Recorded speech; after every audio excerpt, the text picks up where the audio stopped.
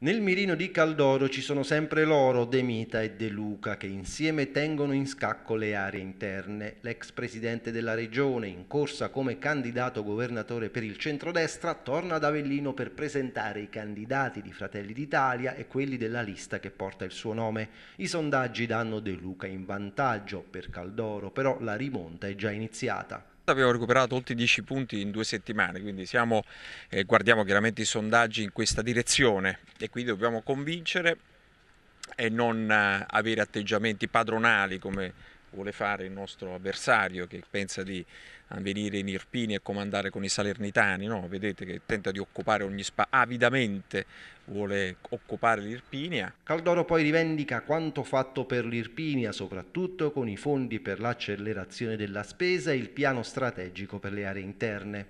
Una scelta chiara, limpida, di centrodestra, con un programma equilibrato che pensa a grandi e forti investimenti in Irpinia, che merita soprattutto le aree interne, che hanno avuto con la mia amministrazione il grande progetto, come ricordate, delle aree interne, che è grande la prima grande iniziativa di sviluppo strategico per le aree interne da quando è nata la Regione Campania. Tema caldo quello della sanità, soprattutto in tempi di pandemia. Caldoro respinge al mittente le accuse di chi gli attribuisce la chiusura degli ospedali in Irpinia durante il suo mandato. Non ho mai chiuso nessun ospedale, come è noto. Mi dispiace che si fa questa domanda sapendo che non è vera.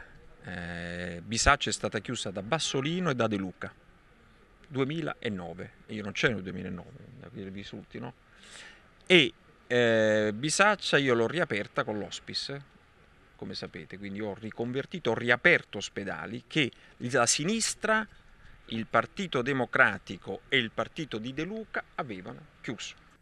Tra i bersagli preferiti c'è De Mita, pesa ancora il tradimento del cosiddetto patto di Marano cinque anni fa, quando il leader di Nusco in una notte, dice Caldoro, passò dal centro-destra al centro-sinistra. Com'è possibile stare cinque anni in un'amministrazione e tradire l'ultima notte? Scusate, ma come lo chiamate?